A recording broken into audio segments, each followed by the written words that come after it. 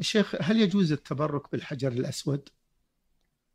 نعم الحجر الأسود النبي صلى الله عليه وسلم آه، استلمه ومسحه وقبله في طوافه. ما هو من باب التبرك وإنما هو من باب العبادة لله عز وجل. وفي الأثر أن الحجر الأسود يمين الله في الأرض الله وأنه يأتي يوم القيامة يشهد لمن استلمه يشهد لمن استلم عند الله.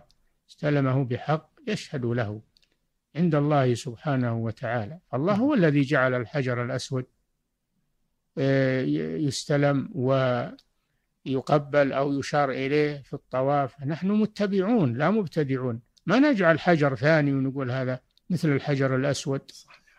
ما ما نحن لا نشرع لأنفسنا ولا يشرع لنا مخلوق. إنما المشرع هو الله والمبلغ عن عن الله هو الرسول صلى الله عليه وسلم. ولهذا كان عمر بن الخطاب رضي الله عنه الخليفة الراشد إذا أراد أن يقبل الحجر يقول والله إني لأعلم أنك حجر لا تنفع ولا تضر. ولولا أني رأيت رسول الله صلى الله عليه وسلم يقبلك ما قبلتك.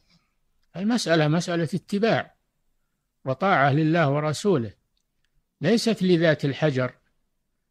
نعم.